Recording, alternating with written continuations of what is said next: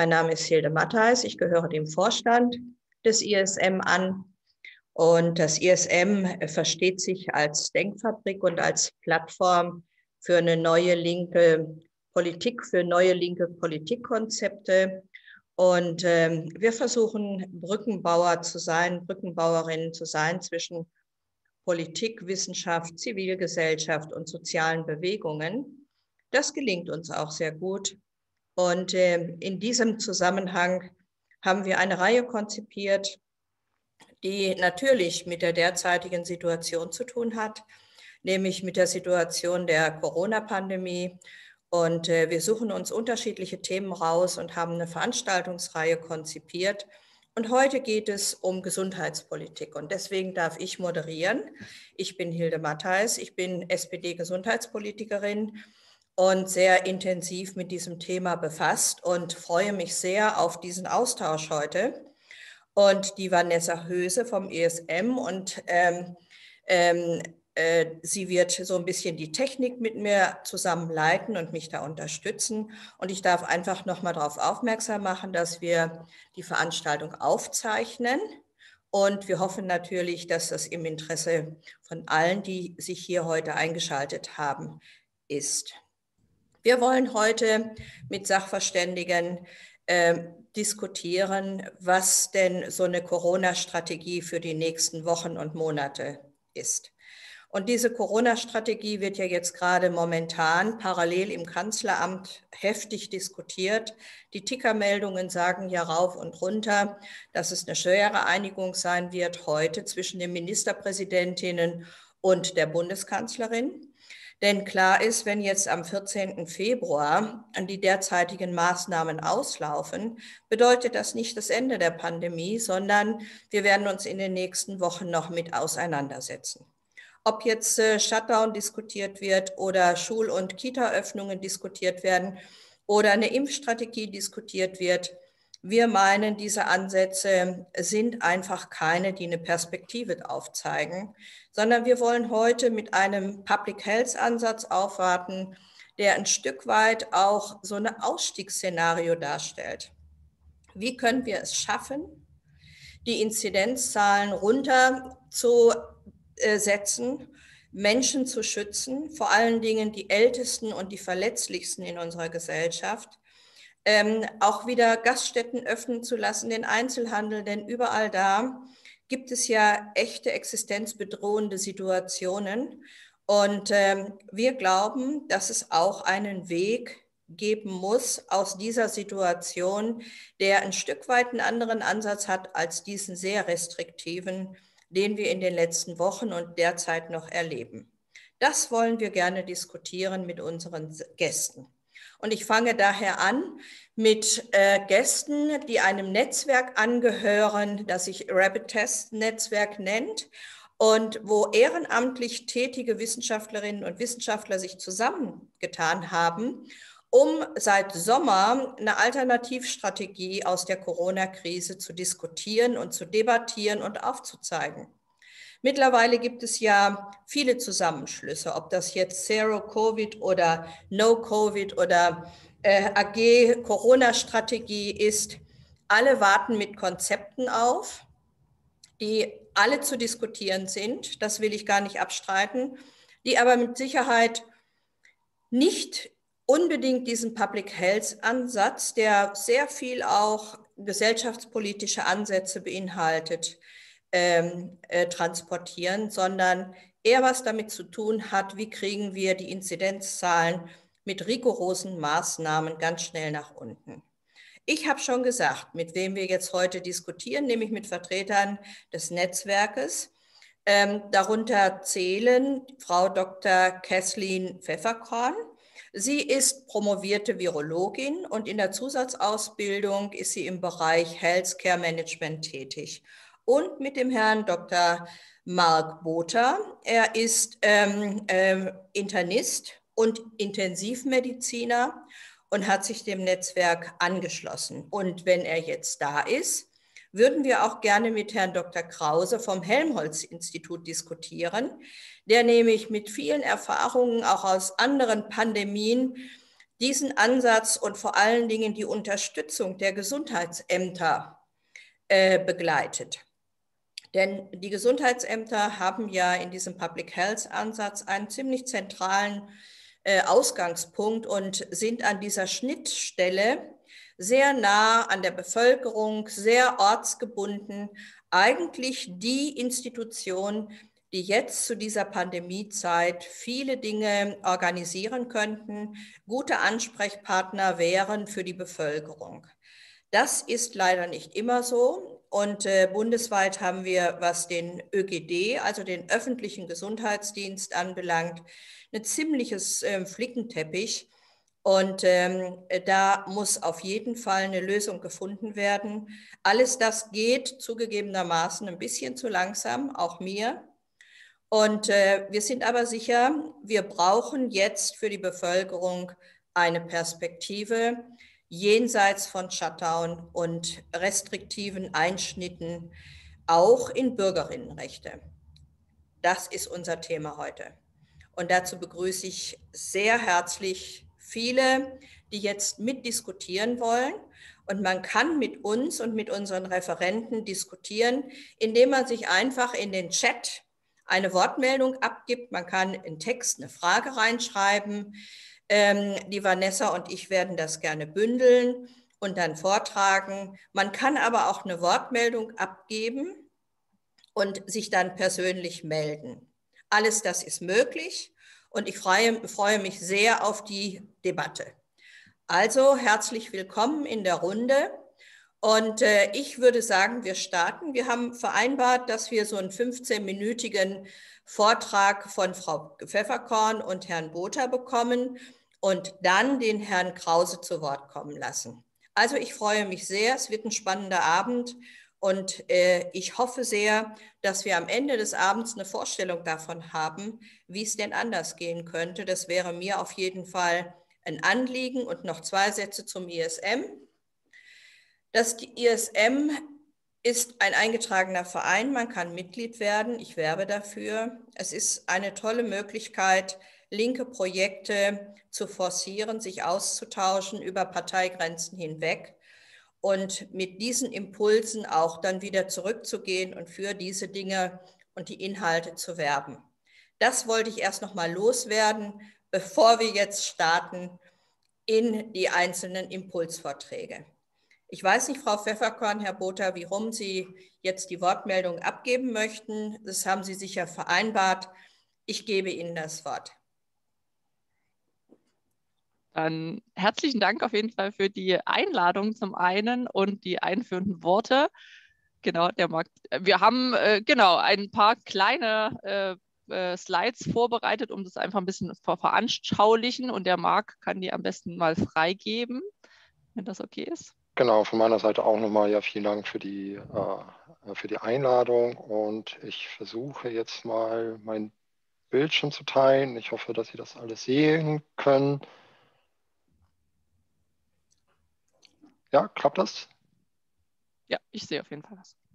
Okay, also vielleicht nochmal zu uns. Äh, wir sind äh, Rapid Test, wir sind, äh, wie schon gesagt, ein, ja, ein loser Zusammenschluss von ähm, Personen, die sich seit dem Sommer überlegen, was wir alternativ zu den bisherigen Maßnahmen zur Pandemiebekämpfung leisten können. Und wir haben uns alle zusammengefunden, nachdem wir eine Modellierungsstudie von einem äh, oder von mehreren Professoren aus den USA gelesen haben, äh, die uns gezeigt hat oder die vorhergesagt hat, modelliert hat, dass mit einer regelmäßigen Testung ähm, die Pandemie innerhalb kurzer Zeit zum Stillstand kommen könnte. Und der entscheidende Punkt dabei war halt wirklich regelmäßig, äh, weitestgehend symptomunabhängig und ähm, das Ganze nicht medizinisch gedacht, also nicht um eine Diagnose zu sichern, sondern wirklich als ein Public Health Ansatz.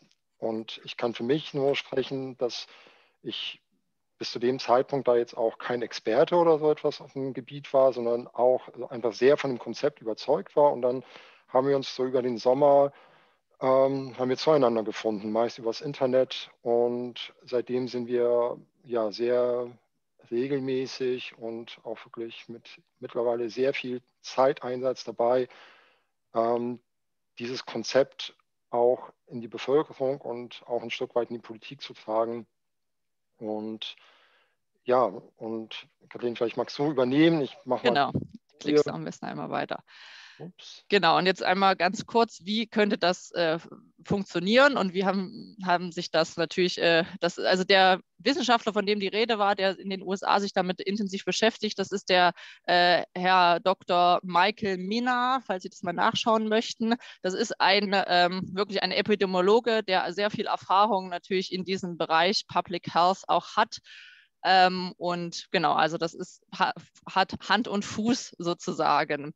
Und das große Grundproblem dieser Pandemie und an diesem äh, Virus ist ja, dass die meisten Menschen zu dem Zeitpunkt, wo sie dieses Virus verbreiten und weitergeben, überhaupt nicht wissen, dass sie überhaupt ansteckend sind. Man weiß mittlerweile, dass mehr als 50 Prozent der Übertragungen tatsächlich in der Phase stattfinden, ne, ähm, wo man noch gar keine Symptome zeigt oder manche Menschen äh, vielleicht auch nie Symptome entwickeln. Also man ahnt sozusagen überhaupt nichts äh, davon, dass man das Virus in sich trägt. Deswegen äh, sind wir ja auch alle an die AHA-Regeln mittlerweile sind die unser Alltag, um eben zu verhindern, dass wir unbewusst dieses Virus an jemand anders übertragen. Nun muss man aber natürlich sagen, die AHA-Regeln sind ja auch äh, gewisserweise limitiert, weil alle menschlichen Kontakte können wir natürlich in unserem Alltag auch nicht einschränken. Wir können sie größtmöglich sicher machen und dafür haben wir sehr viele Tools. Aber ein, ein wichtiges Tool, was wir denken, was dem eben noch fehlt, ist eine regelmäßige Testung in Form von Schnelltests. Und man sieht hier so schön, wieso wir eigentlich äh, viele Menschen äh, nichts von ihrer Infektion äh, wissen. Also wir haben ein paar Menschen, die auf, äh, sind sowieso präsymptomatisch, die haben überhaupt gar keine Ahnung, dass sie das Virus in sich tragen, sind also noch vor der Zeit, wo sie die ersten Symptome verspüren. Dann gibt es Leute, die sind asymptomatisch, die verspüren vielleicht nie, also verspüren nie bewusst Symptome. Dann gibt es welche, die werden nie getestet, weil sie auch nie ein Testangebot bekommen. Oder es gibt Leute, die haben zwar einen Verdacht, ähm, warten aber noch ein, auf ein Testergebnis. Diese Menschen äh, isolieren sich beispielsweise eventuell auch gar nicht so strikt, wie sie es vielleicht sollten, besonders wenn man die Familie an, äh, wenn es auf die Familie ähm, äh, bezogen ist. Und dann haben wir noch äh, natürlich ein paar Leute, die schon wissen, dass sie beispielsweise Kontakt hatte, die befinden sich schon in Quarantäne, aber man sieht hier am Bild wirklich verdeutlicht, äh, wir erwischen momentan vor allen Dingen natürlich, im, wenn die Gesundheitsämter eben an ihren Kapazitätsgrenzen sind, erwischen wir einfach sehr wenig Leute in der Phase, wo sie ansteckend äh, sind, rechtzeitig. Das hat auch damit zu tun, dass natürlich ähm, die PCR in der aktuellen Teststrategie ähm, sehr, sehr sparsam, sage ich mal, eingesetzt wird. Das heißt, man muss schon entweder eine Kontaktperson sein und auch äh, Symptome zeigen, um einen PCR-Test zu bekommen, oder man muss wirklich sehr eindeutige Symptome äh, haben. Das hat Kapazitätsgründe. Und meist ist das einfach schon relativ spät, weil man muss sich vorstellen, ich äh, verspüre vielleicht das erste Halskratzen, dann überlege ich noch, ähm, schlafe noch mal eine Nacht drüber, dann wird es vielleicht schlimmer, dann überlege ich mir, ob ich zum Arzt gehe, mich testen lasse. Da sind schon sehr viele Tage ins Land gegangen, dann warte ich noch einen Tag aufs PCR-Ergebnis. Schon sind vier Tage eventuell rum, wenn es gut läuft. Und von denen bin ich äh, im Prinzip schon vier Tage wirklich hochinfektiös, weil vor den Symptomen bin ich mindestens schon ein bis zwei Tage nämlich äh, hoch ansteckend. Genau, und dann übergebe ich direkt an den Marc, weil so sieht das nämlich in der Viruskinetik ein bisschen aus. Genau, also das ist äh, jetzt auch äh, eine Abbildung aus dem äh, New England Journal of Medicine. Und ähm, was wir also feststellen, ist, dass zu dem Symptom, also dass die Viruslast am höchsten ist, wenn Symptome eintreten. Ab dem Zeitpunkt nehmen die ab. Und das Problem ist halt an einer symptomorientierten Testung, dass wir ähm, nahezu alle Personen, die links äh, von dem, äh, von dem ja, violetten Strich sich befinden, gar nicht testen und damit auch gar nicht erfassen werden. Und ähm, wenn man sich jetzt so anguckt, wo Diagnostik denn wirklich stattfindet, dann müssen die Symptome auch äh, ein paar Tage ja anhalten. Und das äh, Problem ist jetzt, dass äh, wenn wir jetzt, ähm, hier sieht man oben negativer und positiver Test, dass wir zwar ein, ähm, wenn wir regelmäßig testen, ja, also das ist die obere ähm, Reihe, dass wir dann ganz viele negative Tests haben, also zu einer, einer präinfektiösen Phase, aber ähm, relativ zuverlässig auch ähm, Personen positiv testen, die auch die noch gar keine Symptome entwickelt haben. Äh, entscheidend ist aber wirklich die Häufigkeit. Entscheidend ist nicht die Sensitivität. Äh, und das ist ja, diese Diskussion dreht sich häufig so, ist der, äh, ist der Schnelltest denn gut genug, ist er sensitiv genug? Wir sehen hier an dieser Zeichnung, dass die Sensitivität in einem Public Health Ansatz völlig untergeordnet ist, denn äh, wir sehen hier die beiden Linien. Äh, die Sensitivität ist ähm, zwar bei der oberen Linie deutlich schlechter. Trotzdem erwischen wir diese Infektion eher allein, also nur durch die Regelmäßigkeit. Und jetzt würde ich als nächstes so die Grafik zeigen, wie das Ganze so aussieht, wie so die Viruslast aussieht. Und jetzt ähm, muss ich sich so vorstellen, dass die pinke Linie ungefähr die ist, die ein Schnelltest so erfassen könnte. Und man sieht, dass aber halt auch unterhalb dieser pinken Linie ähm, Virus äh, nachweisbar ist und auch unter, umständlich, äh, unter Umständen auch kultivierbar ist und damit auch ähm, diese Person ansteckend sein könnte. Jetzt muss man aber bedenken, dass das Ganze ja ein, eine logarithmische äh, Darstellung ist. Und wenn wir uns das Ganze linear angucken, dann hoffe ich, dass es jetzt funktioniert. Ja, man sieht das ganz gut. Ähm, so sieht das Ganze aus, wenn wir uns die Viruslast mal wirklich linear angucken. Ja? Also wir haben eine viel, viel höhere Viruslast ähm, als das, was diese Grafik anzeigt. Und man sieht, dass diese, diese Linien, diese gelbe und diese lilane Linie so miteinander äh, verschwimmen. Und natürlich kann es trotzdem sein, dass wir an Tag 8, 9 oder 10 äh, noch eine mögliche Infektion auslösen können mit so einer Virus, mit so einer niedrigen Viruslast. Aber entscheidend ist, sind ist dieser Peak hier oben, diese Spitze, an dieser Stelle sind die infizierten Personen die größte Gefahr für ihr Umfeld. Und an dieser Stelle werden sie aber normalerweise nicht getestet, weil sie da gerade ihre Symptome entwickeln. Und der Test würde praktisch hier erst stattfinden. Und ähm, wenn ab hier die Isolation ähm, erfolgt, dann verpassen wir halt eine große Chance, äh, Infektionsketten zu durchbrechen. Ich würde ähm, glaub, genau, das war's. Also der, der das, das Ganze dreht sich im Prinzip darum, wir brauchen eine Möglichkeit, wie können wir die Leute ganz häufig äh, testen, also niederschwellig, auch wenn sie gar nicht davon, äh, gar nichts davon ahnen, dass sie eine Infektion schon in sich tragen, weil der entscheidende Zeitpunkt, wo ich am ähm, meisten äh, ansteckend bin, ist eben die Zeit, bevor ich es überhaupt ahne, also bevor ich jemals irgendwelche Symptome erwische. Genau, und es hat sich so ein bisschen schon was da getan seit Sommer. Also es gibt mittlerweile äh, sehr, sehr viele Schnelltests auf dem Markt. Es gibt auch mittlerweile Schnelltests, die überhaupt nicht mehr äh, erfordern, dass man so einen tiefen Nasenrachenabstrich macht. Das ist ja immer die Bedenken der, die Leute, dass sie sozusagen bis ins Gehirn sich so ein Stäbchen stecken müssen. Das ist nicht mehr der Fall. Es reicht wirklich so eine Art Nase popeln. Es gibt mittlerweile auch Studien, dass das wirklich auch Laien, die das noch niemals gemacht haben, exakt so zuverlässig oder nahezu so zuverlässig durchführen können wie medizinisches Personal mit so einem ganz tiefen Abstrich. Die Tests sind wahnsinnig äh, billig geworden. Man kann die theoretisch für unter einen Euro produzieren. Abgabepreise schwanken momentan zwischen, ähm, sagen wir mal, drei und acht Euro, je nach Hersteller. Genau. Und ähm, natürlich ist dieses, es gibt auch Berechnungen, dass dieses Testen und Hochskalieren der Tests ähm, eine deutlich günstig, kostengünstigere Variante wäre als unser äh, Dauerlockdown. Und seit kurzem ist auch die sogenannte Medizinprodukteabgabeverordnung darauf äh, geändert worden, dass theoretisch äh, die Abgabe von Schnelltestanleihen erlaubt ist. Praktisch ist sie das aber noch nicht, weil man benötigt nämlich zusätzlich zu den Zertifizierungen, die diese Tests jetzt aktuell schon haben, eine weitere äh, Überprüfung durch beispielsweise den TÜV oder andere sogenannte benannte Stellen, auf die wir jetzt äh, nämlich noch warten. Äh, damit dort nochmal überprüft werden kann, dass diese Tests wirklich, sage ich mal, ähm, idiotensicher, sage ich jetzt mal ganz laienhaft, ähm, äh, funktionieren.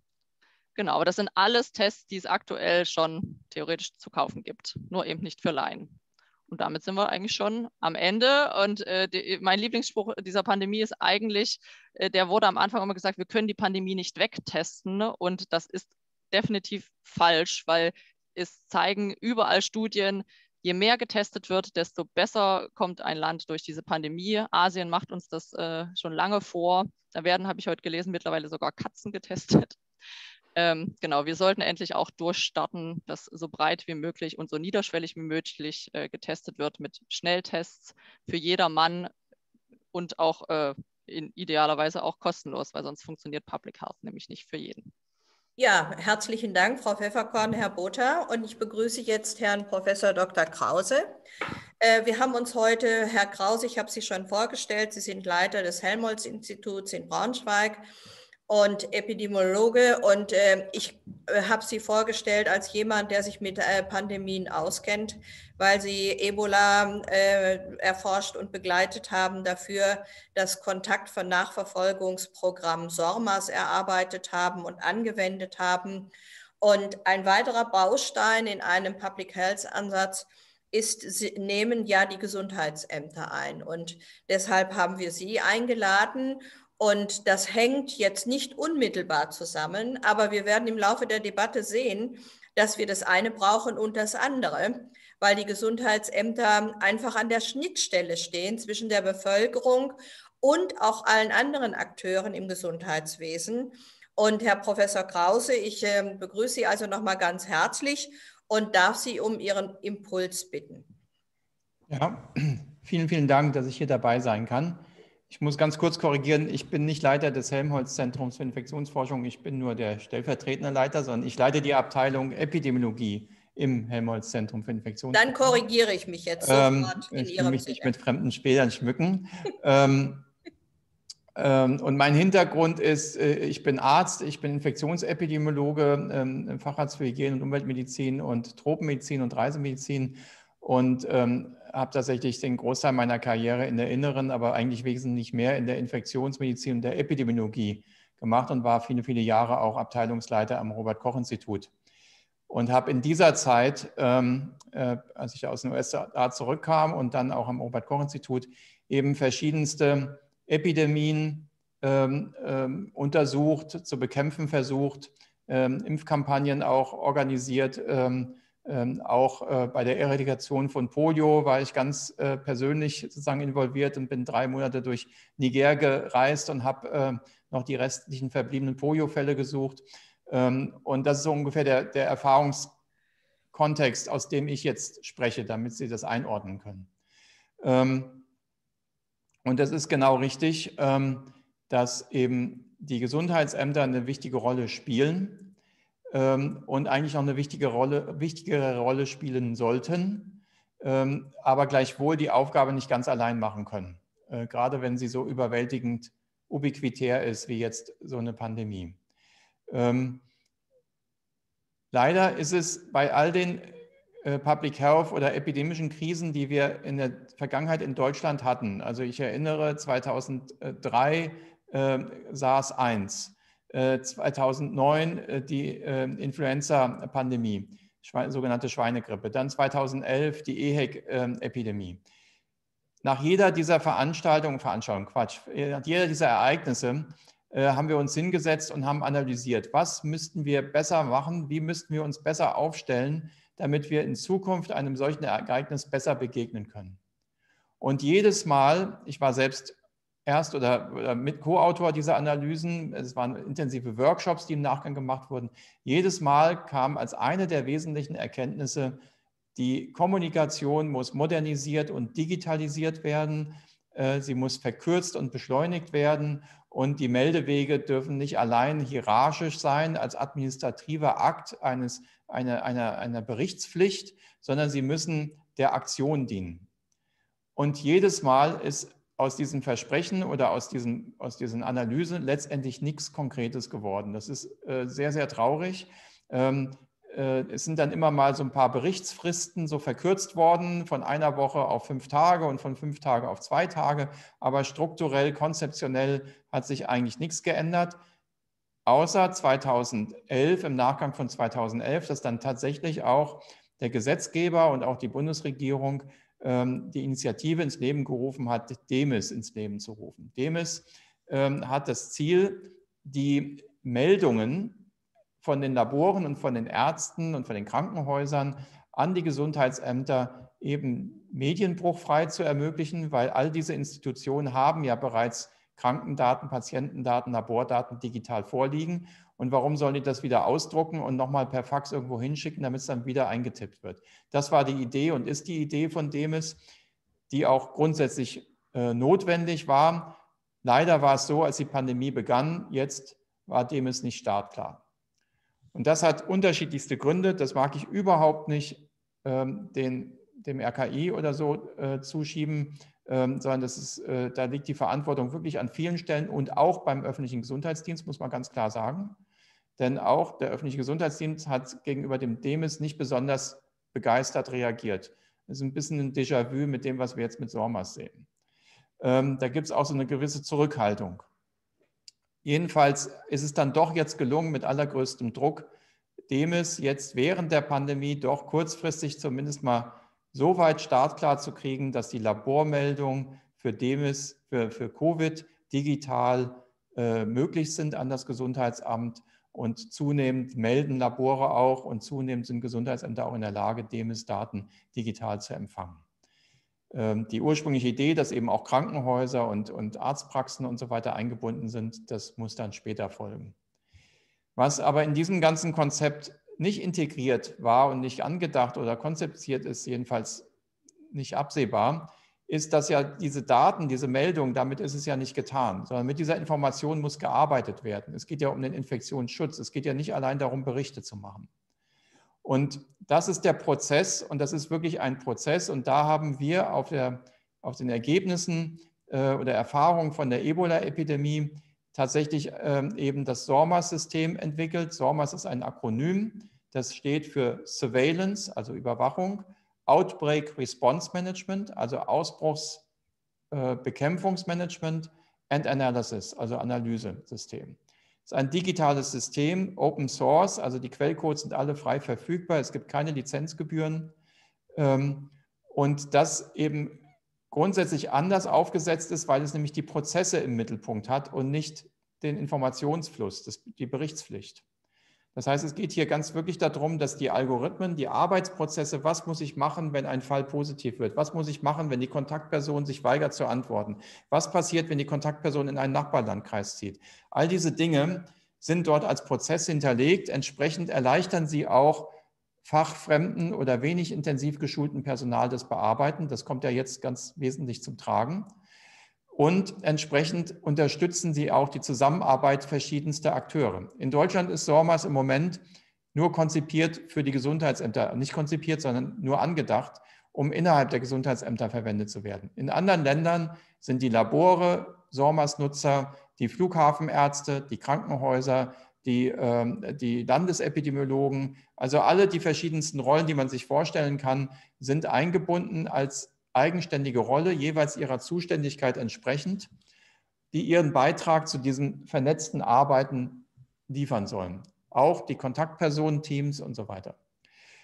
Ähm, jetzt ist es so, dass wir in Deutschland dieses System mit Unterstützung des Bundesgesundheitsministeriums haben wir im Sommer, im Juli den Auftrag bekommen, SORMAS so anzupassen an die deutsche Strukturen und insbesondere zu vernetzen mit den bestehenden Systemen, also DEMIS und den anderen Softwaresystemen, die bereits jetzt schon Daten übermitteln an die Landesbehörde und von dort ans Robert-Koch-Institut. Ähm, das erfordert entsprechende Schnittstellen und bei Schnittstellen ist immer so, da müssen beide Seiten von einer Schnittstelle zuarbeiten, sonst funktioniert eine Schnittstelle nicht.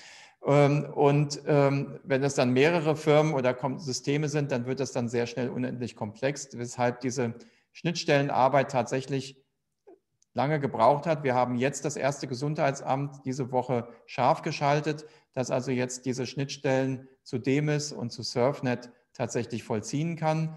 Das hat den Vorteil, dass die Gesundheitsämter, die jetzt SORMAS schon nutzen, das sind ja schon über 102, 202, also über die Hälfte, dass die jetzt SORMAS nutzen können und das andere System auch nutzen können und dann nicht in beiden Systemen dieselbe Information zweimal eingeben müssen. Sie werden sagen, das ist banal, das hätte man doch gleich so machen können. Ja, aber das ist eben das Problem mit den Schnittstellen.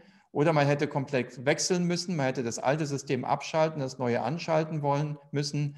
Das wiederum war nicht erwünscht und ähm, aus zum Teil auch nachvollziehbaren Gründen, weil ja SORMAS im Moment jetzt nur für Covid gedacht ist und die anderen Systeme ja noch die anderen Krankheiten machen.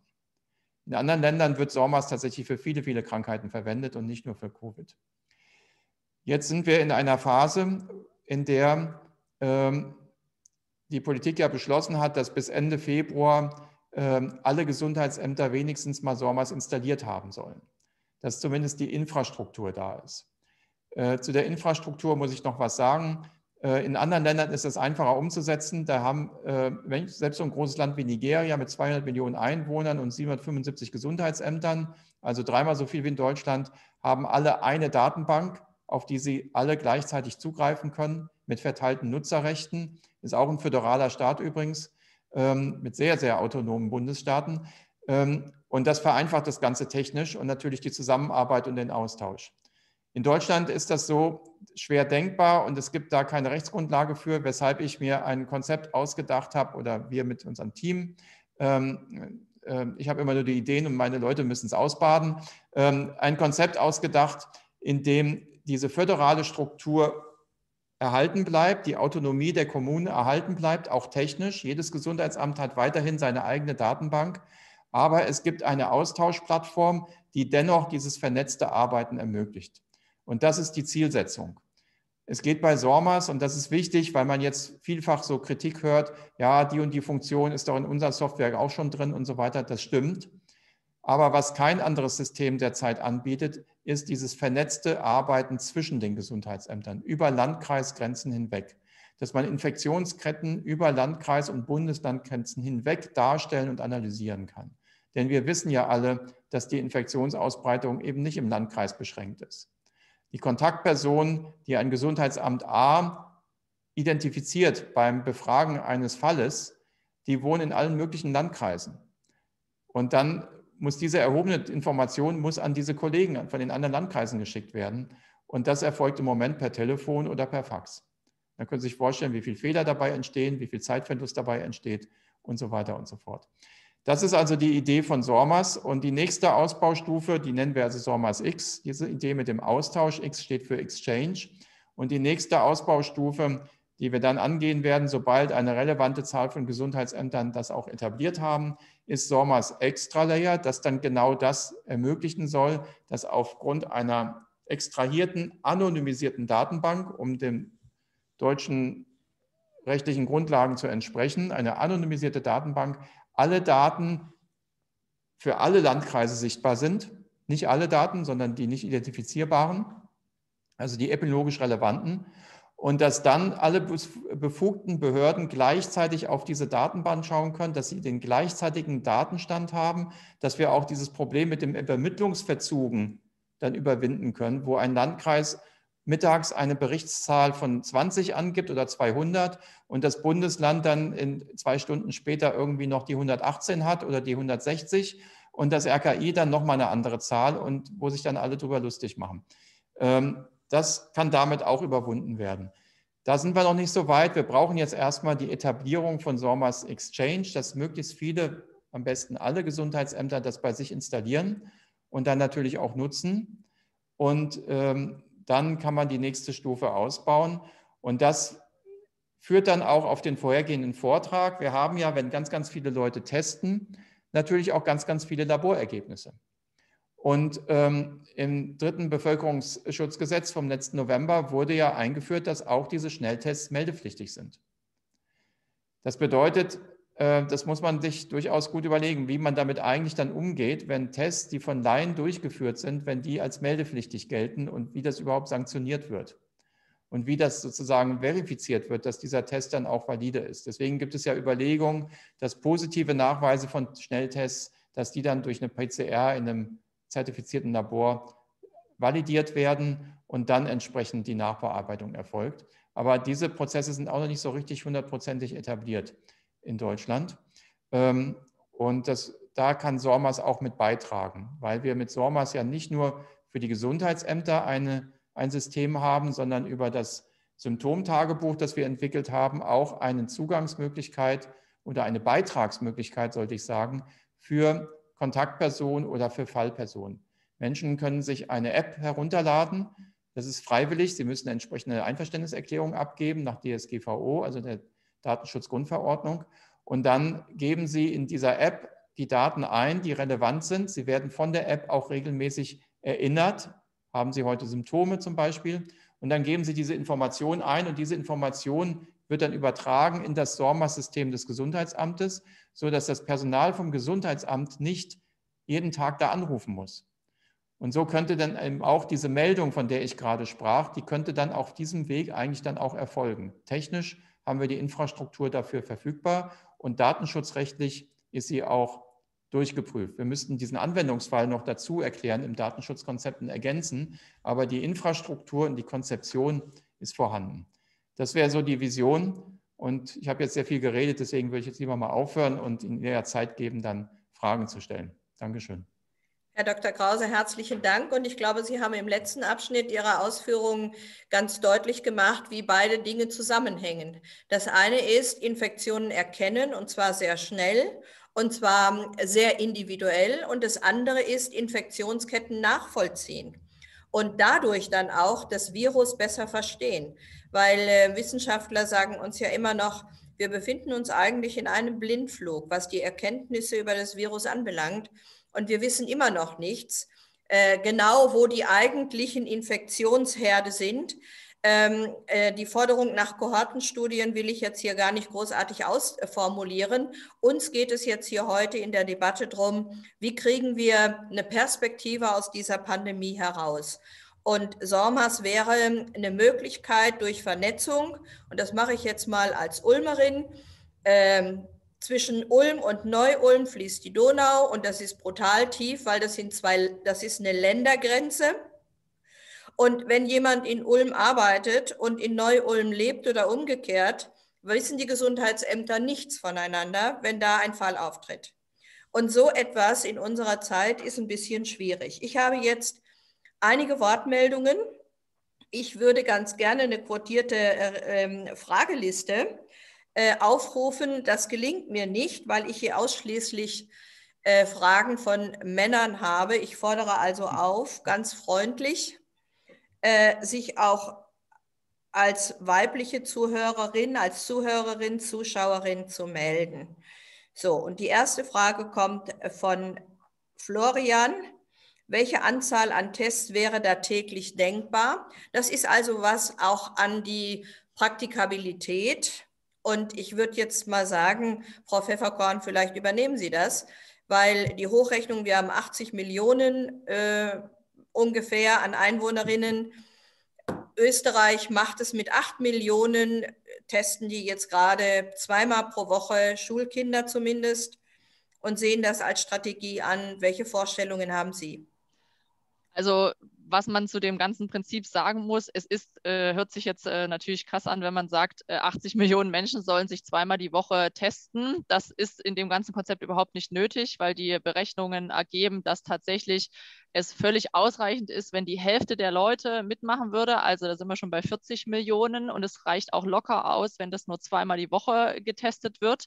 Äh, also bräuchte man dann im Prinzip 40 Millionen mal zwei, also 80 Millionen Tests äh, pro Woche wenn man das jetzt mal ganz Pi mal Daumen macht. Ähm, und der Fall ist der, also es gibt beispielsweise eine Firma, die ist eine deutsche Firma, die produziert auch meines Wissens in Deutschland. Alleine diese eine deutsche Firma, die einen sehr hochwertigen Test äh, vertreibt, kann pro Monat äh, 80 Millionen schaffen und das ist nur eine Firma. Äh, es gibt auf der B-Farm-Liste, wenn man die sich anguckt, gibt es äh, an die 300 Einträge. Von diesen Tests sind mittlerweile mindestens 20 Stück nochmal durch das PI überprüft worden.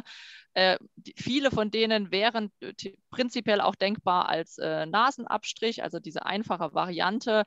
Also wenn man den Willen hat, bin ich mir sehr sicher, dass man sogar bis äh, dahin kommen könnte, wenn es denn überhaupt nötig wäre, dann noch, äh, dass man das äh, über einen gewissen Zeitraum ähm, äh, in äh, zum Beispiel Hochinzidenzgebieten macht. Beispielsweise haben wir immer noch Regionen, wo wir Inzidenzen von 300 bis 400 hat. Dann könnte man wirklich dort in den Gegenden sagen, zusätzlich zu den Maßnahmen, die wir jetzt beispielsweise im Lockdown haben, machen wir noch verteilen wir einfach strategisch solche Tests und sagen den Leuten, bitte aktiv euch jetzt zweimal die Woche testen für x äh, Wochen und dann würde man da durchaus einen guten Effekt ähm, sehen.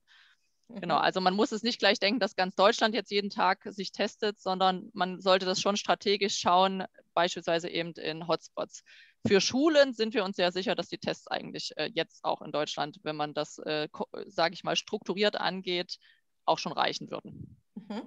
Und vom Ablauf her, wenn Sie das einfach nochmal beschreiben könnten, weil das ist eine Frage auch im Chat. Wie, vom Ablauf, wie so ein Test abläuft? Ja, bitte. Ah, also es ist im Prinzip ziemlich einfach. Es ist äh, auf Basis, jeder kennt wahrscheinlich einen Schwangerschaftstest, das ist das gleiche Prinzip, es äh, ist so ein Teststreifen, der entweder in einer Plastik, meistens in so einer Plastikkassette verarbeitet ist. Ähm, das ist, sind auch alles Materialien, die nicht wirklich limitiert äh, verfügbar sind. Ähm, also im Gegensatz zur PCR zum Beispiel, da wird ja alles knapp momentan. Ähm, und man macht einen Nasenabstrich mit so, einem, so einer Art Wattetupfer ähm, im vorderen Nasenbereich. Das sieht wirklich aus wie ein bisschen Nase bohren, ähm, ist auch überhaupt nicht schmerzhaft. Ähm, dann taucht man dieses Stäbchen in eine Reaktionsflüssigkeit, die da mitgeliefert wird, bringt das sozusagen darin aus und diese Flüssigkeit tropft man dann auf dem Test und der zeigt dann innerhalb von 15 Minuten, also dann muss man eigentlich nur noch warten. Diese ganze Prozedur, wenn man die mehrfach äh, hintereinander mal gemacht hat, dauert nicht mehr als ein, zwei Minuten. Dann legt man den Test meinetwegen morgens, äh, wenn ich meine Bad-Morgenroutine mache, zur Seite, schaut nach 15 Minuten wieder drauf und dann erscheint dann entweder ein Strich das bedeutet, äh, dass der Test äh, ordnungsgemäß durchgeführt wurde und wenn er zwei Striche anzeigt, sollte ich als nächstes äh, zum Telefon greifen und meinen Hausarzt anrufen oder mir eine PCR zum Beispiel organisieren, beziehungsweise das Wichtigste in dem Fall ist eigentlich, dass ich das Haus nicht mehr verlasse, weil dann sagt der Test, ähm, hier potenziell Gefahr, du bist an, ansteckend momentan, weil dieser Test zeigt uns eben besonders in der Zeit, wo die Personen hoch ansteckend sind, an, ähm, dass das Virus vorhanden ist. Mhm. Genau, so funktioniert das im Prinzip. Und da ist gleich die nächste Frage, die nämlich äh, in puncto ÖGD, also Gesundheitsdienst und Föderalismus äh, nachfragt, ob uns der Föderalismus da nicht im Weg steht. Denn wenn man diesen positiven Test hat, könnte man ja auch das Gesundheitsamt direkt anrufen und das Gesundheitsamt könnte sagen, bitte schön, das ist der Vorgang, kommen Sie zum PCR-Test. Herr Krause. Das wäre so ein Modell, dass man, das wäre so ein Prozess, den man sich dann vorstellen könnte. Man könnte sagen, also man könnte sogar das kombinieren. Man könnte sagen, mit dem Vertrieb dieses Tests wird gleich auch so ein Flyer verteilt, wo die runter Download-Instruktionen für, für die App sind ähm, und dann äh, könnten die Leute dann gleich dabei, also über so einen äh, Barcode oder sowas ähm, oder QR-Code und dann äh, könnten die Leute, wenn sie mögen, das auf dem Weg machen. Man kann sie natürlich nicht zwingen, das zu nutzen, aber dann können sie es auch, wenn sie es nicht nutzen wollen, machen es dann eben dann doch per Telefon oder was. Aber zumindest hat man dann auf diesem Weg ähm, eine, eine, eine, strukturierte Situation. Ich bin sogar schon am Überlegen, ob man das nicht noch weiter verfeinert dass man die Tests so baut, also so konstruiert, dass das Ergebnis automatisiert eingelesen wird und digital sozusagen eingelesen wird, sodass Ablesefehler auch vermieden werden. Ich glaube, ich hatte da mal gesehen, dass es so solche Apps wohl für die Antikörpertests mal gab. Ich habe das aber nicht weiter verfolgt, wo das sozusagen so sogar genau, also genau um die Fehler ganz, zu Ganz technisch, ganz unmöglich ist es nicht. Es macht halt dann nur die Komplikation, dass man da wieder äh, Standards setzen muss und dass dann bestimmte Produkte vielleicht nicht so zum Tragen kommen und so weiter. Ah, das ist sicher Zukunftsmusik von dem Stand, wo wir herkommen, dass manche noch im Gesundheitsamt mit Faxgerät arbeiten und Telefon, ist das sicherlich eine Zukunftsaufgabe. Und ich habe jetzt hier eine Wortmeldung von Sascha. Ja, hallo und Abend zusammen. Ich habe eine Frage an Herrn Krause oder eigentlich sind es sogar zwei. Mich würde interessieren, wie bekannt das SORMA-System mittlerweile bei den Gesundheitsämtern ist, bei den Verantwortlichen der Gesundheitsämter. Und ähm, die zweite Frage ist, wie lange würde es dauern, wenn sich ein Gesundheitsamt entscheidet, das System einzuführen, bis es dann auch wirklich betriebsbereit ist? Danke schon mal. Mhm. Bitte. Ich glaube, es gibt jetzt kein Gesundheitsamt, das nicht schon irgendwie von SORMAS gehört hat. Die haben alle von uns jetzt ungefragt inzwischen ein Informationspaket zugeschickt bekommen mit den vorbereiteten Auftragsverarbeitungsverträgen. Das ist nun mal äh, gesetzmäßig so vorgesehen, dass das System erst gestartet werden kann, wenn ein entsprechendes Vertragswerk unterzeichnet ist. Das liegt jetzt allen Gesundheitsämtern vor. Ähm, und äh, sobald Sie uns die unterschriebene Version zurückgeschickt haben, kann äh, die Installation innerhalb von 24 Stunden oder 48 Stunden erfolgen. Dann ist die Infrastruktur äh, da. Man muss dazu sagen, das hatte ich nicht erwähnt, der Betrieb ist auf den Rechnern des ITZ Bund, des Informationstechnikzentrums des Bundes. Es wird also alles zentral betrieben und gewartet, sodass auch für die IT-Beauftragten der Gesundheitsämter praktisch kein Mehraufwand entsteht. Und äh, dann parallel dazu würden die bei uns die Schulung dann machen, ähm, die wir online machen. Da muss man also nirgendwo hinreisen. Das funktioniert sehr gut. Das ist ein mehrstufiges Schulungsverfahren und ähm, das dauert zweimal zwei Stunden und dann äh, kann äh, der Betrieb losgehen. Also es geht innerhalb sehr, sehr kurzer Zeit. Eine Schwierigkeit, eine Herausforderung ist doch noch da, muss ich erwähnen. Die Gesundheitsämter, die jetzt schon SORMAS verwendet haben, und die das jetzt mit den Schnittstellen einsetzen, die müssen den Datenbestand, den sie schon in SORMAS haben, mit dem Datenbestand des anderen Systems verknüpfen. Das sind nicht so viele Gesundheitsämter, bei denen das zutrifft. Und äh, das ist eine einmalige Aktion, die durchaus äh, anspruchsvoll ist. Aber für alle anderen Gesundheitsämter äh, entfällt dieser Aufwand. Mhm, vielen Dank. Und jetzt hätte ich hier eine Wortmeldung von Frau Knorr-König. Ja, vielen Dank, ähm, liebe Hilde. Ach, ich, wir kennen uns. wir kennen uns schon. Ich finde es ganz spannend und ich möchte noch mal aus einer weniger technischen Perspektive eine Frage stellen. Und zwar ähm, habe ich so den Eindruck, dass sich viele eben auch sehr ohnmächtig fühlen anhand der Situation. Was glaubt ihr denn, ähm, das würde ja durchaus auch eine gewisse Handlungsfähigkeit und ähm, ja, dass man seinen Beitrag dazu leisten kann. Was glaubt ihr denn, was da die Auswirkungen auf, so, auf die Gesellschaft wären? Gibt es da auch Erkenntnisse? Ähm, das wär, würde mich interessieren. Wer möchte antworten? Ging das jetzt an die Schnellste? Wir können auch irgendwie mal so zwei, drei Sachen zusammennehmen, dass man nicht immer nur so Ping-Pong spielt, sondern mal so drei Fragen zusammenbindet. Und wenn wir dann feststellen, das funktioniert nicht so gut, machen wir es wieder anders, okay? Gut. Dann hätte ich jetzt hier von Mario Frei-Ritter noch eine Wortmeldung zum QR-Code. Und er fragt, ähm, ist das in Deutschland möglich, wie zum Beispiel in Südkorea? Und dann hätte ich hier noch eine Wortmeldung äh, von der Julia Nickel. Bitte.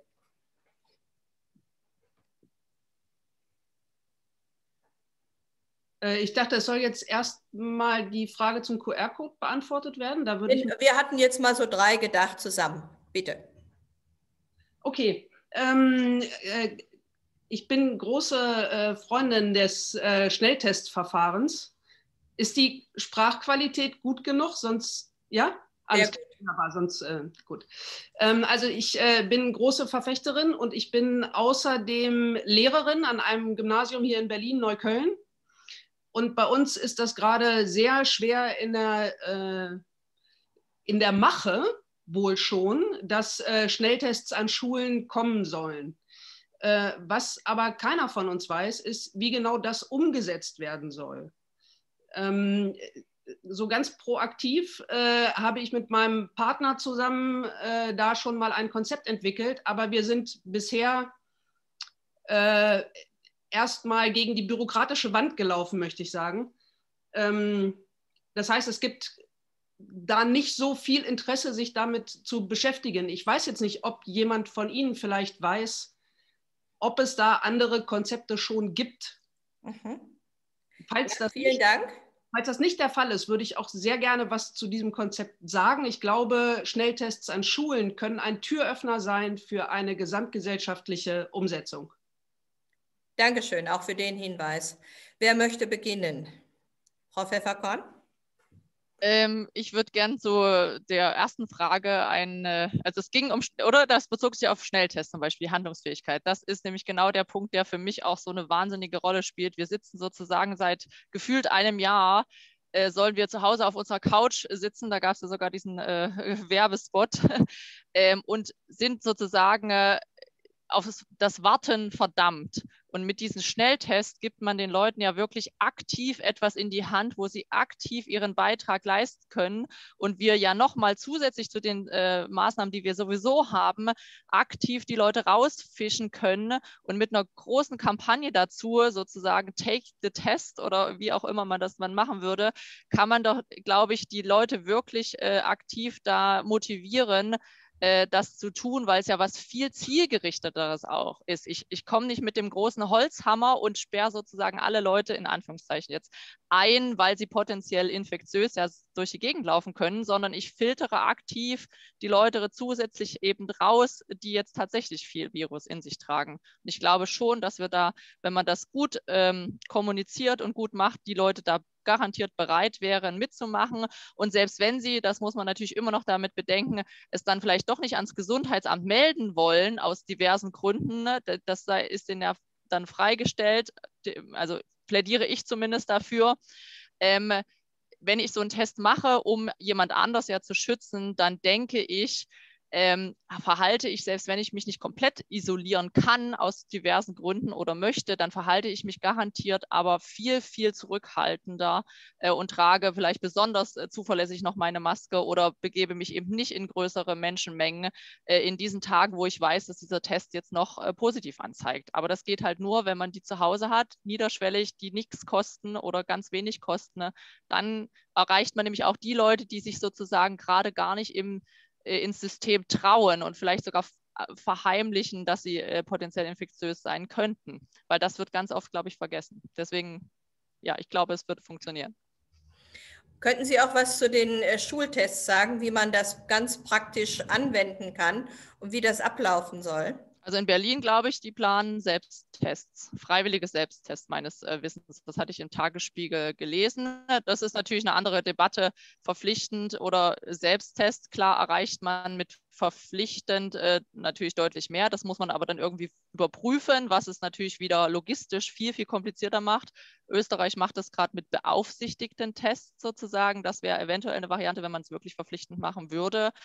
Ansonsten bin ich ein absoluter Verfechter von, äh, die Leute mündig machen und die gut aufklären, dass äh, es uns allen was bringt. Aber mein äh, Kenntnisstand ist, dass es wohl in Richtung Selbsttestung gehen soll in Berlin. In Österreich sollen die äh, Schülerinnen und Schüler ja zweimal pro Woche getestet werden, beziehungsweise sich selber testen. Mhm. Die machen das aber in der Schule in Österreich. Ja, die machen das genau. in der Schule. Ähm, zum QR-Code, Herr Krause. Südkorea war das Stichwort. Ich habe, aber ich kann die Frage nicht gut einordnen. Ich rätsel schon die ganze Zeit. Vielleicht drüber. meldet sich derjenige, der gefragt hat. Das war der Mario Freiritter und kann das nochmal dezidierter vorstellen. Ja, hallo an die Runde. Also was ich weiß, also meine Frau ist aus Vietnam, aber ich weiß aus Südkorea, dass die einen QR-Code in ihrer App haben. Und mit dieser App tun sie zum Beispiel, wenn sie irgendwo hingehen, sich einscannen. Einscannen äh, praktisch so eine Art, ähm, ich war hier. Und diese Überwachung findet also nicht wie bei uns mit einer Unterschrift statt, wenn ich einen Kaffee trinken gehe, ja, was ja witzig ist. Erstmal äh, Datensicherheit. Jeder, der da danach einen Kaffee trinkt, der hat den Zettel da liegen.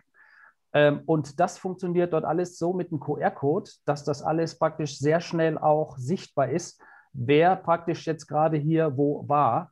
Und so kann man natürlich auch gewisse Krankheiten, also auch den Virus, sehr schnell dann nachverfolgen. Das mal ganz kurz noch von der Seite QR-Code. Warum können wir den hier nicht?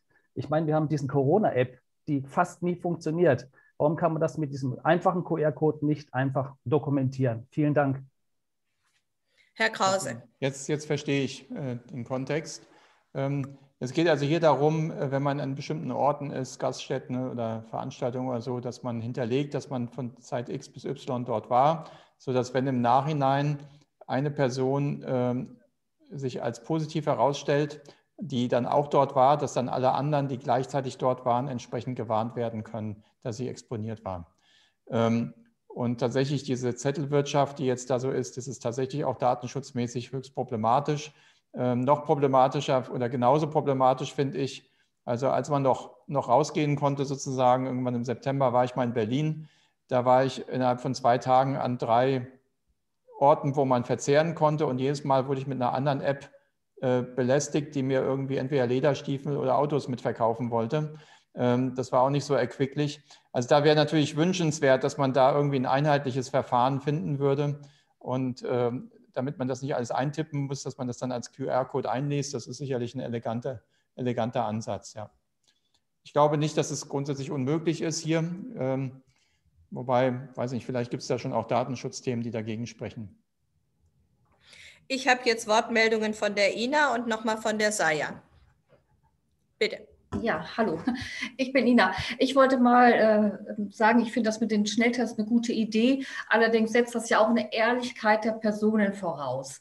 Und da habe ich so meine Bedenken manchmal, gerade wenn es geknüpft ist an zum Beispiel einen Konzertbesuch oder ich möchte auf äh, eine Veranstaltung gehen. Äh, wie ehrlich sind die Menschen? Oder auch der Druck vom Arbeitgeber. Ähm, wenn es mir gut geht und ich habe nichts und ich mache den Test, ich bin positiv, aber vom Chef kommt äh, ja nicht mehr fehlen oder du hast schon so oft und so weiter.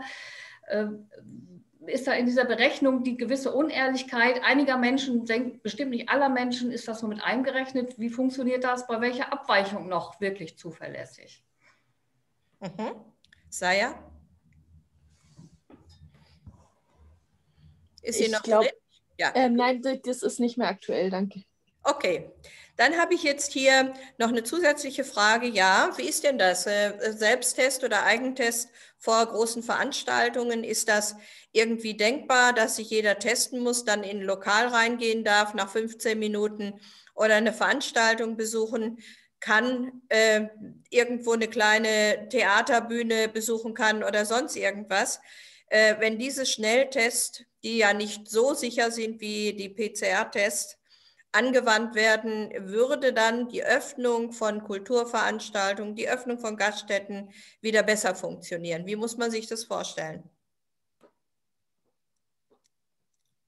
Sollte ich etwas sagen? Also ich könnte da, ähm, wir haben prinzipiell, das haben wir jetzt in der Ausführlichkeit nicht vorgestellt, ein Pyramidenkonzept. Und wir haben praktisch nur die Basis der Pyramide vorgestellt. Äh, ein breitflächiges Testen und an den AHA-Regeln und an dem Leben, wie wir es sonst führen, würde sich erstmal nichts ändern.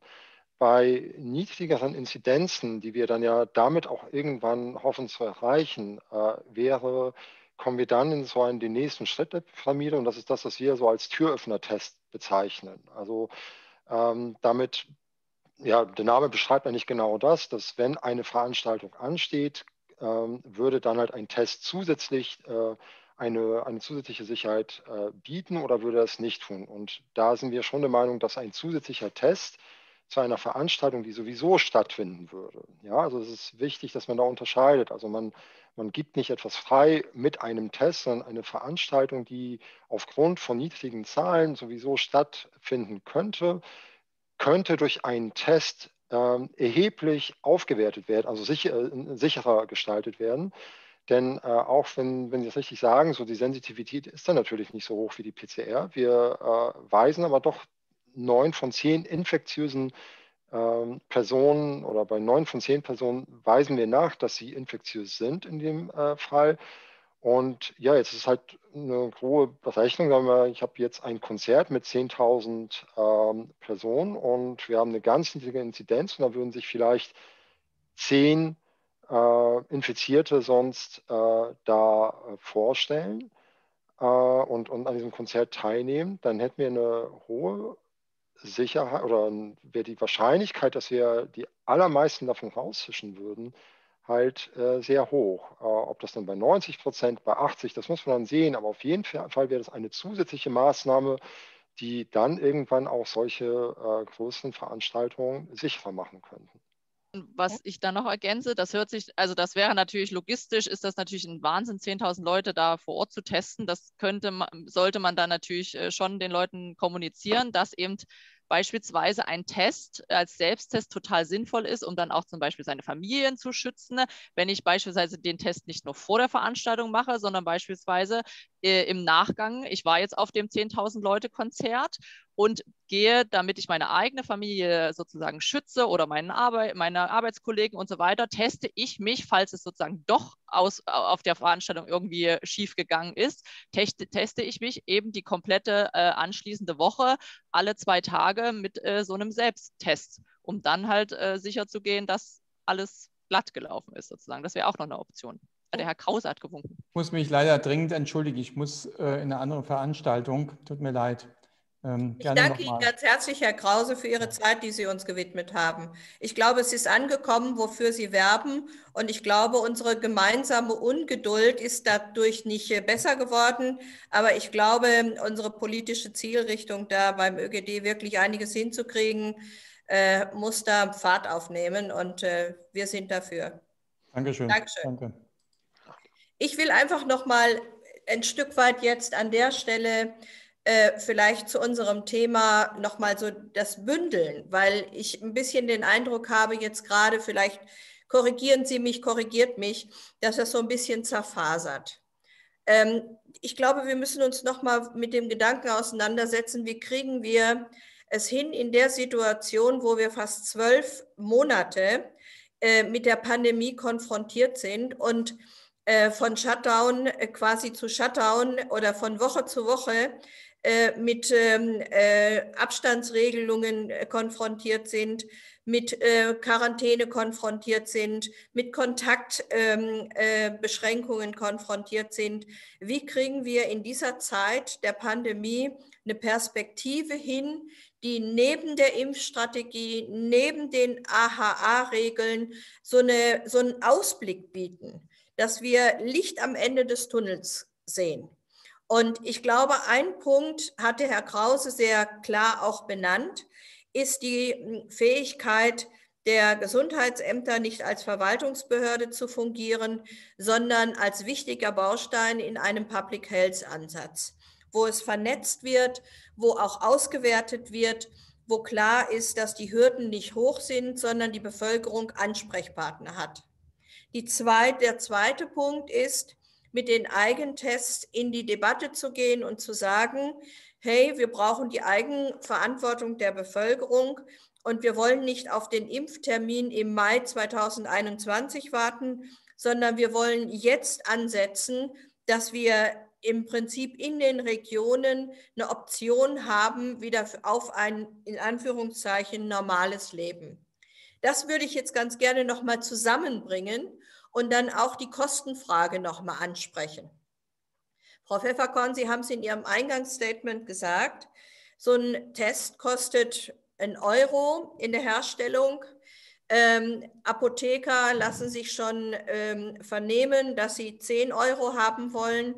Ich glaube, dass es wichtig ist, jetzt an dem Punkt wirklich auch die Möglichkeit für die gesamte Bevölkerung zu schaffen und zwar ohne, dass jemand finanziell belastet ist.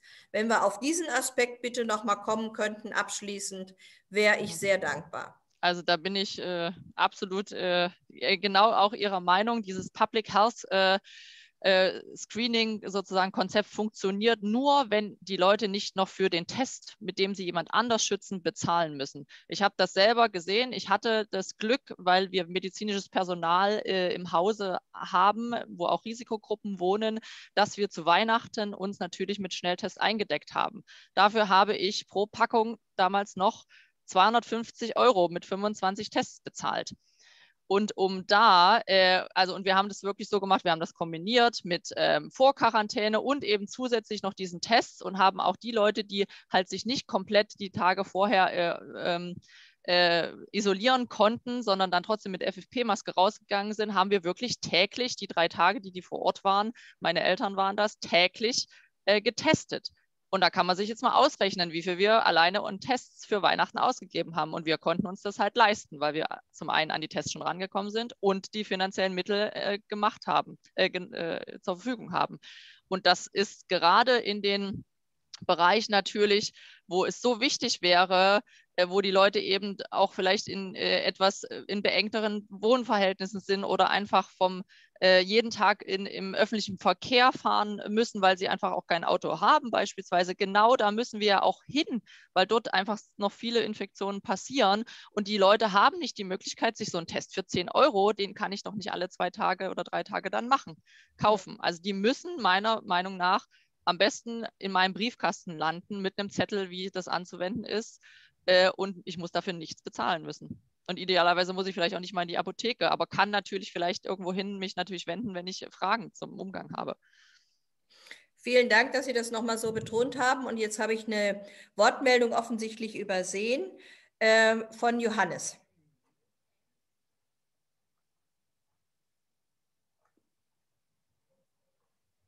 Das, das Mikro frei. Ja. Äh, ja, ich habe da was angemerkt und zwar, äh, man müssen ja wahrscheinlich verschiedene Bereiche äh, unterscheiden, ob man es jetzt den privaten Sektor oder den öffentlichen Sektor oder eben die Arbeitswelt. Und ich glaube, am zwingenden und am, äh, was die wenigsten Kostenfallen aufbietet, wäre die Arbeitswelt. Wenn man dort einführen würde über diese äh, Covid-19-Arbeitsschutzverordnung, äh, verpflichtend zu machen für die Betriebe, eine Gefährdungsbeurteilung dazu zu machen wo dann auch festgelegt ist, wie Selbsttests dann erfolgen soll. Und die müssen meiner Meinung nach im Vier-Augen-Prinzip erfolgen, weil zum einen hat es Auswirkungen gegebenenfalls leistungsrechtlich gegenüber der Berufsgenossenschaft, Arbeitsunfall, Berufskrankheitenrecht. Auf der anderen Seite, dass die Meldekette funktioniert und dass man da auch zuverlässig äh, dann Meldungen abgibt, halte ich das Vier-Augen-Prinzip für erforderlich. Und man hat ja in jedem Betrieb äh, wie die Arbeitsschutzverordnung anwenden, hat man ja Ersthelfer oder sonstiges äh, etabliert, die man da anlernen können, diese äh, Selbsttests dann sachgerecht durchzuführen, sodass man da in dem Bereich, was die Arbeitswelt anbelangt, relativ schnell äh, das gut screenen könnte. Denn äh, die Probleme, die ich halt sehe, ist halt, dass dieser öffentliche Gesundheitsdienst, die Gesundheitsämter vor Ort, die werden ja vor allen Dingen das Personal wird ja gestellt über die Landkreise und das ist die schwächste Ebene äh, der kommunalen Selbstverwaltung. Und da merkt man auch, dass dementsprechend ein Recruitment seit März letzten Jahres einfach nicht stattgefunden hat und dass die sich eigentlich nur über Wasser gehalten hatten, über Amtshilfeersuchen bei anderen Behörden, äh, quasi zum Nulltarif sodass man im Prinzip seinen eigenen Haushalt äh, sauber hält, aber so kriegt man das nicht vernünftig aufgebaut. Und äh, weder die Hardware noch die Software noch die äh, Personalausstattung ist dann ausreichend, uns auch langfristig in dem Maße zu schützen. Ich selber bin da auch betroffen davon gewesen mit meinem Sohn an der Schule. Da hat nicht das Gesundheitsamt die Schule geschlossen, sondern die Schulbehörde. Äh, und da war ein positiver Fall beim, im Lehrkörper. Und das sind Sachen, die da, dürfen nicht vorkommen. Und ich weiß auch nicht, wie man sowas hat schleifen lassen können, ein ganzes Jahr. Äh, und ich sehe uns da bei der dritten Welle äußerst schlecht aufgestellt. Und wenn man diese, diese Schnelltests in der Arbeitswelt, so wie ich es beschrieben habe, einführen würde als Forderung, dann lässt sich das analog auch bei den Schulen umsetzen, weil auch dort die Kinder der Lehrkörper stehen unter dem Schutz der gesetzlichen Unfallversicherung. Und dann gibt es eben diese Schutzpflichten, die einzuhalten sind. Also ich ärgere mich darüber, ich bin selber Beschäftigter bei einer Berufsgenossenschaft und ich habe äh, manchmal am Tag, das Erste, was ich mache, sind 17 neue Fälle mit Covid aufzunehmen. Und es kotzt mich dann auch irgendwo an, dass man sieht, dass hier von der Politik nicht der Druck in der Richtung gemacht wird. Denn man hat diese Arbeitsschutzverordnung vom 16.04., die hat der Hubertus Heider rausgehauen, die ist klasse, nur sie wird nicht umgesetzt. Wir sind schon im Vorfeld im Nachhinein kriegen wir das nicht gebacken, dass unsere Betriebe Gefährdungsbeurteilungen aufstellen. Und gerade jetzt bei Covid-19 ist das enorm erforderlich. Ich bin in zwei Arbeitssicherheitsausschüsse und ich weiß, was das bedeutet für eine Arbeit, aber das muss man verdammt nochmal machen, dass die Leute sich in den äh, Betrieben nicht weiter erkranken und gegenseitig anstecken. Denn da ist eine so hohe Dunkelziffer äh, noch gegeben, äh, wo ich echt nicht nachvollziehen kann, dass man das so laufen lassen kann. Und jetzt noch die Dankeschön. Schulen öffnen, wo das so weitergeht. Dankeschön. Jetzt habe ich noch eine Wortmeldung von Eva und würde die noch dran nehmen und würde dann äh, darauf verweisen, dass im Chat einige Informationen noch gesammelt worden sind, die ich für wichtig halte und die man ja auch noch aufnehmen kann. Und die Frage, eine letzte im Chat ist die Frage, welcher Betrieb nimmt sich hm, erstens die Zeit, wer übernimmt die Kosten? Im Technologiepark in Heilbronn werden keine Tests angeboten. Ich kann nur sagen, große Firmen wie SAP äh, bieten Tests an für die Mitarbeiterinnen und Mitarbeiter. Daimler-Benz bietet Tests an für die Mitarbeiterinnen und Mitarbeiter, weil das für die Betriebe kostengünstiger ist. Genau das äh, zu klären, ob jemand infektiös ist oder nicht, als wenn er im Betrieb ist, trotz Homeoffice äh, und andere ansteckt. Also es gibt viele Beispiele dafür, da kann ich schon die Antwort drauf geben. Und jetzt Iva. Danke, Hilde. Ich hätte eine Frage, die für mich noch ein bisschen in der Schwebe stand die ganze Zeit, aber nicht klar beantwortet wurde. Innerhalb vom Public Health Ansatz, so relativ allgemein gesprochen, sehe ich schon noch einen gewichtigen Teil in der politischen Debatte, der mir oft fehlt, nämlich die Frage nach den edukativen Prozessen. Also nicht nur sozusagen den, nach den medizinischen äh, Möglichkeiten oder strukturellen Notwendigkeiten ähm, oder auch finanziellen Aspekten, sondern die Frage danach, inwiefern es ähm, auch wichtig ist, darüber zu sprechen. Und daher kommt jetzt meine Frage her, äh, ob und wenn ja, wie die Pandemie noch länger gehen könnte. Also wir reden noch von einem zusätzlichen Jahr gerade in der Kulturbranche, kann aber auch noch länger dauern, ähm, wo wir ständig, ob Impfung oder nicht, mit diesen Fragen konfrontiert werden und inwieweit es dann irgendwann eine demokratische Frage wird, dass wir die Anwendung von solchen Schnelltests etc. in unser Alltagsgeschehen auch äh, edukativ einbauen. Also dass es wie zur neuen Normalität wird, ein ähm, soziales Verhältnis zueinander aufzubauen, wo diese Reaktionen oder diese Anwendungen ähm, dafür sorgen, äh, dass, ich sage jetzt mal, Corona-LeugnerInnen nicht mehr werden, wenn Sie verstehen, was ich meine. Also inwiefern es zur demokratischen Debatte gehören sollte, dass diese Selbstverpflichtung, die einige in Frage stellen, die den, den selbsttätigen Umgang mit dieser Herausforderung, auch zu einer Stärkung der, der Demokratie fördern könnte. Wunderbare Frage zum Schluss. Und ich würde sagen, Frau Pfefferkorn, Herr Botha, greifen Sie das doch auf. Und ähm, ich weiß, dass Sie mit Ihrem Public Health Ansatz genau in diese Richtung der Teilhabemöglichkeit und äh, der Demokratiefestigung gehen, dass es nämlich wieder möglich ist, äh, in der Tat sich auszutauschen, als soziales Leben zu, ein, ein, als äh, Menschen soziales Leben zu haben und ein Miteinander zu haben. Bitte schön. Ja, ich glaube, das, worüber wir jetzt gesprochen haben, waren ja wirklich so die technischen Punkte. Wie, sind, wie ist das auslieferbar? Wie funktioniert das und wie gut funktioniert das? Aber äh, der, die größte Arbeit, äh, die äh, mit so einem Testkonzept ja noch die, die, gemacht werden muss, ist das vernünftig zu kommunizieren. Und ähm, es ist nämlich genau die Frage, so wie wollen wir durch die Pandemie kommen? Wollen wir diese Welle über uns einfach schwappen lassen und gucken, wer dann am Ende weggespült wird? Oder versuchen wir uns aktiv dagegen zu stellen? Und Tests sind dann halt eine Möglichkeit, äh, proaktiv zu werden. Also ähm, selbst die Möglichkeit, das mitzugestalten und dieses Gefühl, das was äh, Kathleen jetzt auch schon gesagt hat, dieses Gefühl haben wir alle ja um Weihnachten herum äh, gehabt. Ähm, die halt testen konnten. Und ich war auch in der privilegierten Situation, dass ich testen konnte, wie viel, ähm, ja, wie viel Sicherheit das auch gibt. Und zwar nicht unabhängig von dem Testergebnis, aber dieses Gefühl, ähm, dass ich das mitgestalten kann, dass ich jetzt nicht irgendwie fremdbestimmt bin, sondern dass ich aktiv was dafür tun kann, meine Familie zu schützen. So. Und natürlich gibt es ähm, immer die Möglichkeit zu sagen, naja, die Kontakte sollen halt nicht stattfinden, aber so funktionieren wir Menschen offensichtlich nicht. Also sonst wäre die Pandemie, äh, würde sie ja nicht so lange halten, sonst hätten wir nach vier Wochen ja schon ausgetrocknet.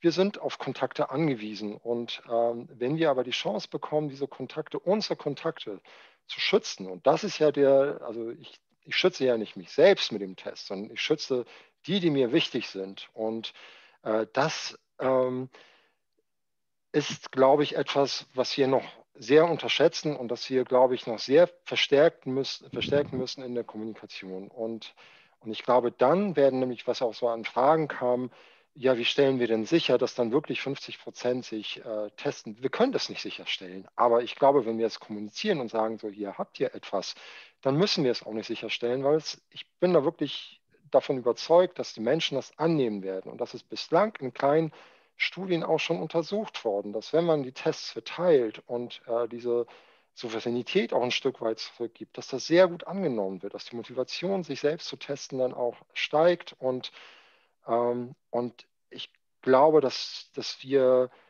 ähm, vielleicht auch heute wieder auch zu sehr über die technischen äh, Hintergründe sprechen und viel zu wenig, was können die da, äh, was, ja, wie können wir, was tut das denn mit uns? Was machen solche Tests mit uns? Kann das nicht der positive Effekt sein, unabhängig von der Pandemie? Eigentlich? Und das kann sich halt auch ausdehnen. Also ich sehe das bei mir. Ich habe jetzt so eine, ich habe ja eine soziale Bubble sozusagen, äh, auch über Weihnachten. Und ich habe den Leuten, denen ich es zugetraut habe, berichtet, dass es die Möglichkeit gibt, an Selbsttests, also an Tests zu kommen. Ich habe denen gezeigt, wie das geht. Ich habe sie aufgeklärt, wie sie damit umgehen äh, sollen. Äh, ich habe das sozusagen von mir aus schon in mein soziales Netzwerk getragen.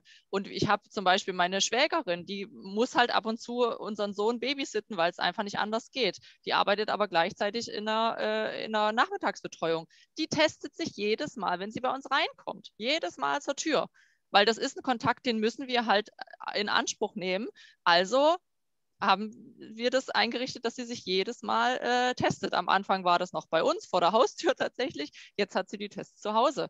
Also das ist äh, im Prinzip, das verstärkt sich sozusagen und breitet sich. Da gibt es halt Leute, die fangen damit an und dann habe, denke ich schon, dass das sich ausbreiten wird von diesen Menschen aus und dann sozusagen äh, so ein Selbstläufer ist, weil das einfach selbstverständlich äh, wird.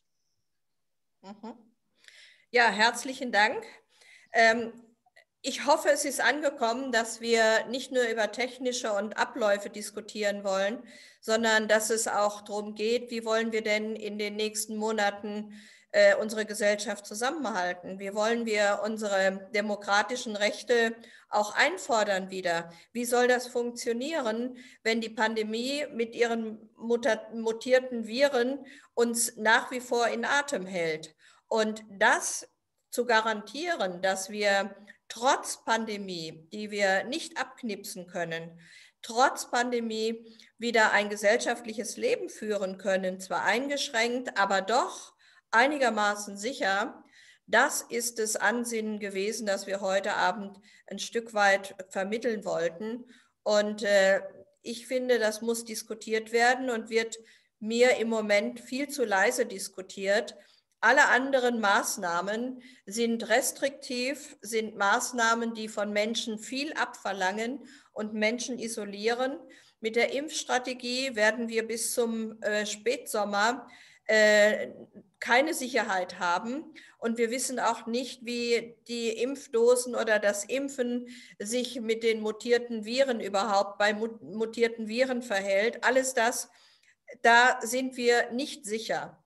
Und deswegen brauchen wir Mechanismen, die den Menschen wirklich eine Perspektive aufzeigen. Und ich bin überzeugt, dass wir das heute Abend diskutieren konnten. Ich bedanke mich auf jeden Fall ganz, ganz herzlich bei Ihnen beiden und rufe das dem Herrn Professor Krause auch nochmal zu. Herzlichen Dank. Und ich glaube, es lohnt sich, an diesen Dingen weiterzudenken und vor allen Dingen lassen Sie uns unter Verteilungsfragen dieses Thema kostenlos wirklich immer wieder mittransportieren, weil 1,3 Billionen Euro, die uns die Pandemie bislang quasi gekostet hat, und das dann bei Dingen wie Masken oder Selbsttest, Eigentest, wie die Österreicher sagen, Wohnzimmertest, äh, irgendwie knausrig zu werden, wäre ein bisschen schwierig, glaube ich. Und von daher ich wünsche noch einen schönen Abend. Vielen Dank. Vergessen Sie das ISM nicht. Das ist nämlich eine tolle Institution. Da kann man sich immer einklinken. Vielen Dank.